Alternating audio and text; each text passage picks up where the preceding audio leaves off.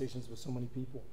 Uh, and uh, yeah, I get to just talk some more. Um, so as uh, Daniel mentioned, I work for a small, like 15 people, biotech startup spun out of Stanford called Inflammatix.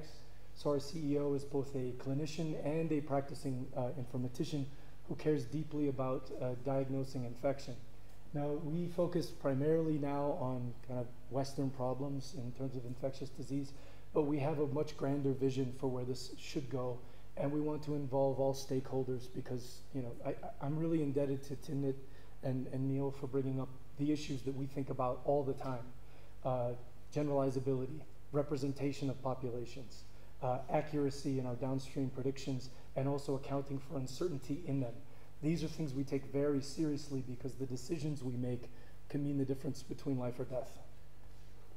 So, with that very dour opening, I want to talk about problems here uh, related to infectious disease because, to be quite frank, I didn't know them. I had to take a lot of time to read uh, through this report from the World Health Organization, which was authored by a collection of, of uh, field workers uh, and, uh, and editorialized here by Dr. Luis Gomes Sambo from Angola, called The Health of the People, What Works. And in it, he detailed a number of, of issues, not just challenges that are faced, but things that are actually working to, to address them. So I just want to highlight some of these challenges here because they were very eye-opening for me and very related to the work we do. Uh, first is, I'm just going to rattle off statistics, but, but some of them really are quite, they were striking to me. So eight of the 10 countries with the highest rates of tuberculosis, which is a kind of bacterial infection, uh, are from countries in sub-Saharan Africa. Uh, in 2012, there were roughly 207 million cases of malaria, which is, is another infectious disease. 80% uh, of them were concentrated in this region. Uh, lower respiratory infections uh, are actually the leading cause of disease burden. It's nothing else. It's you know, you have some kind of infection in your, in your upper respiratory tract. And this last one, which definitely is being taken seriously uh, in, in Western contexts, but now even uh, still in, in African, is this idea of drug resistance. So the antibiotics that we hit these infections with aren't working anymore.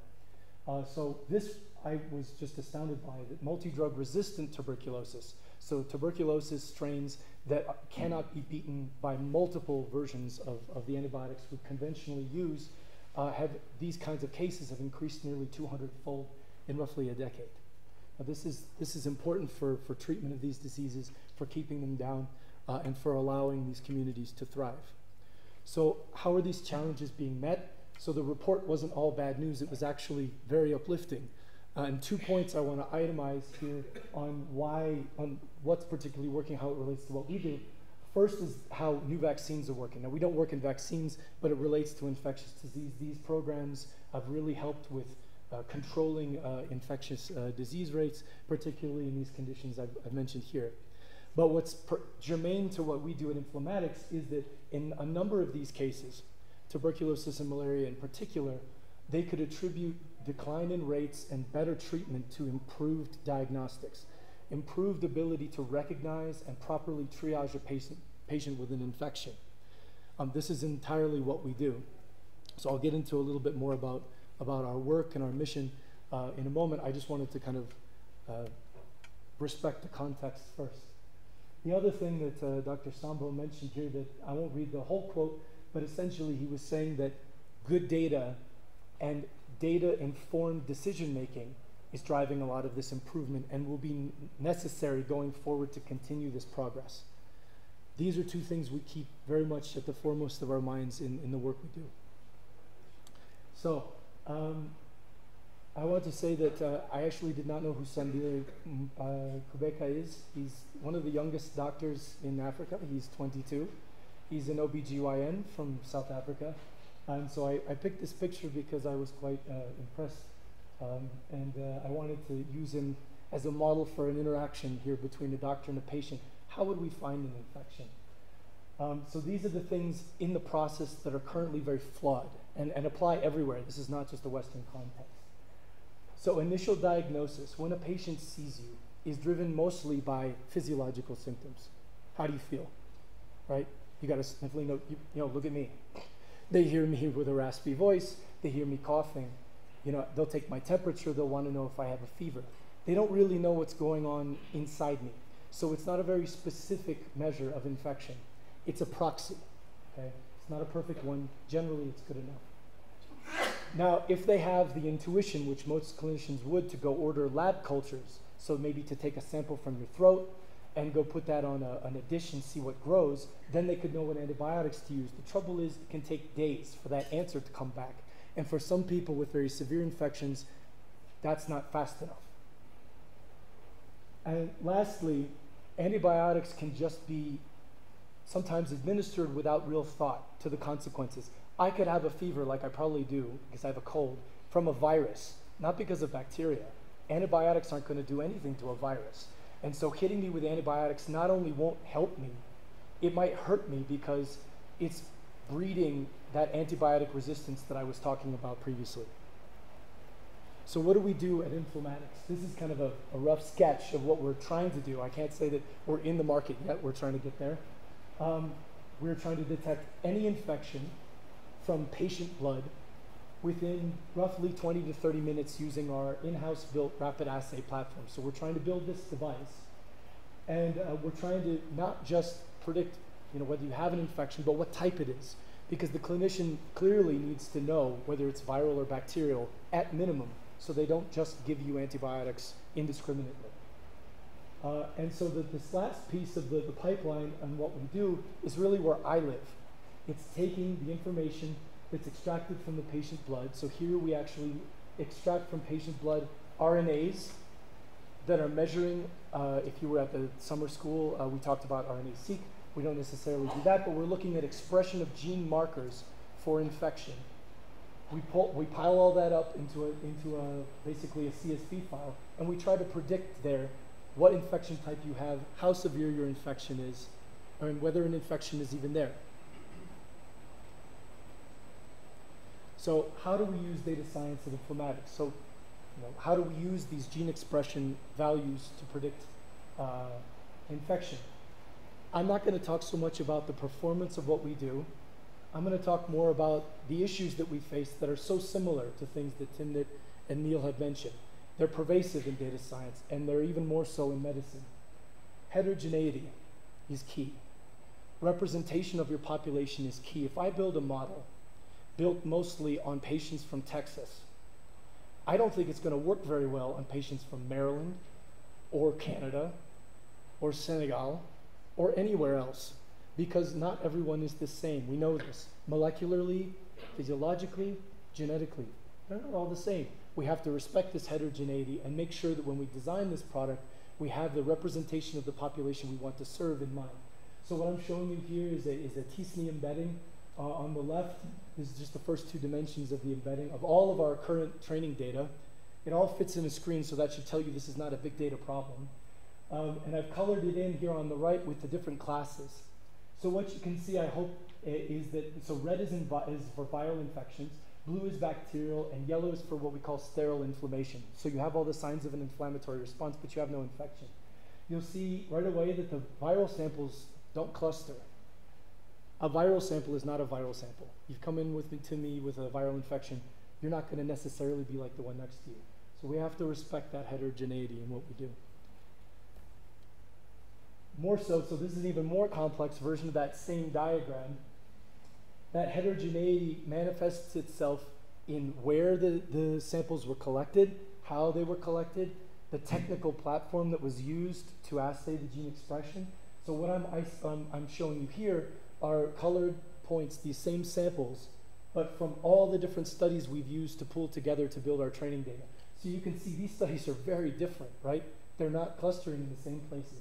This whole bit on the bottom was bacterial infection, but they're all over.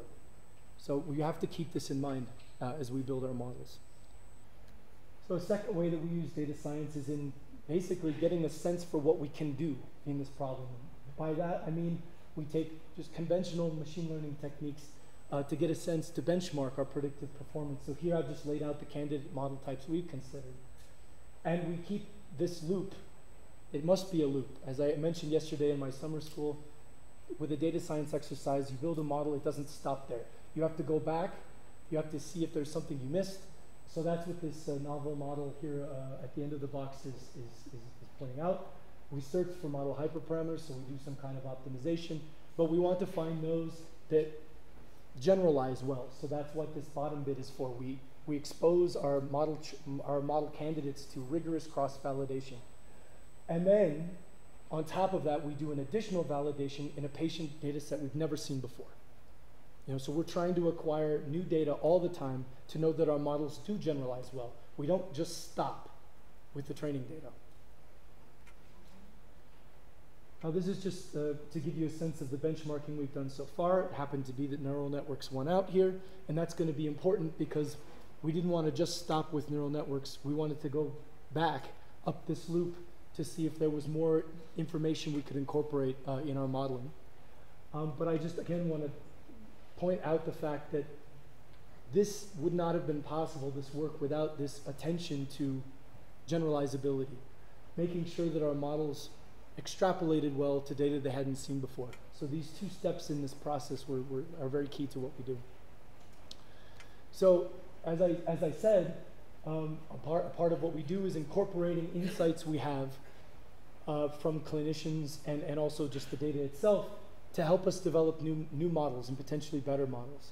This is not a black box. And what's great about being in a small data problem is that you can do things like this. You can do more custom model building. That's why I like this space, is that I don't just kind of throw it data and expect it to come up with predictions. I can actually go back to it. So here, the inputs at the bottom of this neural network diagram are our different gene names for our panel of markers that we care about. We can go back to this, and, in, and indeed we found that there's ways to connect these genes that correspond to how they act in different aspects of the condition. So these three genes, for example, we know are highly expressed in fever whereas another set of genes might be highly expressed if you have severe infection. And by pooling them in this way, almost akin to a ConvNet, we extract better information for our predictions. We don't just stop with the predictions either. So this is relatively new work, but work that I've been banging on my, my colleagues to do because I'm, I'm a trained Bayesian statistician, and you kind of never leave that field even if you may want to it, it stays with you, as, as Neil can probably attest. So what I'm showing you here are posterior predictive distributions. All this really means is when I predict an infection for you and its probability, I don't just give you a single number. I say that there's a distribution over it, so there's some uncertainty with that estimate. Um, and so on the left is for a bacterial sample. I apologize if you can't read this. Uh, the blue is same color. These are, this is for a bacterial sample. Red and yellow for, are for um, a viral and non-infected. So for this, on the left side, you had a bacterial sample. All the predictive probability here is piling up around one. That's what we want. Good. But on the right, what I'm showing uh, is a contrast between incorporating uncertainty and these vertical lines here, which are actually point estimate based approach. So if I just trained a model and predicted without incorporating uncertainty, that model would have told you that this is a bacterial infection Whereas incorporating uncertainty here has allowed for the possibility that this is a viral infection. So you see that red probability is piling up around one. This would have helped a person from getting antibiotics they didn't need. So I'm just going to wrap this up because I know, yeah, I'm, I'm, uh, I'm going. Um, we're always looking for collaborators. So if you're a clinician or a scientist who's working with a clinician, we would love to hear with you. We're actually acquiring a number of samples for our, our FDA pivotal trials in Africa. We have collaborators in Malawi, we have collaborators in Nigeria, and we're always looking for more, more folks who can help us acquire new data. Uh, and secondly, we'd love to discuss ideas for promote, performing remote data science work with us. Just at this stage, I would love to just have a conversation. We can't necessarily set up anything yet. We're a very small company, as I said, but I would love to hear thoughts on this because I think remote connections are, are really going to help bridge this gap. The fact that I'm standing here, I have to tell you, is a very humbling and important experience uh, for me. I feel like we should be talking together all the time, um, and yet we don't for just silly reasons. So, you know, uh, let's let's keep these connections going. Um, I want to thank you for your attention. Uh, if you have any questions, uh, I'd be happy to answer them. I can be reached at my email address. Uh, that's my Twitter handle is, is Data Forager, and, uh, and on LinkedIn as well. I'm happy to connect with you. So thanks very much. Thank you very much, Matthew. Uh, one question, please, and then we'll, uh, we'll take our next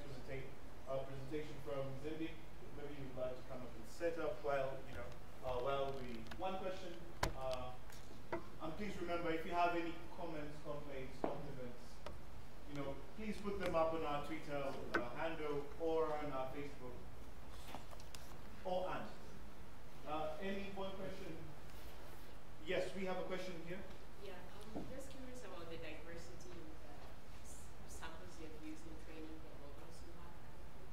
Yeah, so we, sorry, in terms of gender diversity, it's, it's a fairly good split. There's actually uh, more women than men. Uh, in terms of regional diversity, we've got samples from, who, let me see if I can remember all of them. Uh, Thailand, um, we've got samples from, I think we do have samples from Malawi, Australia. Um, we've got some from the UK, we've got some from uh, the US, we've got some from, hmm, there's one other, there's someone somewhere in the Middle East, I want to say. I can't, I, I apologize, I can't remember. There's like 19 studies in our training data. Um, but yes, we, we do try very hard, and we're always trying harder to, to uh, increase that diversity. Yeah.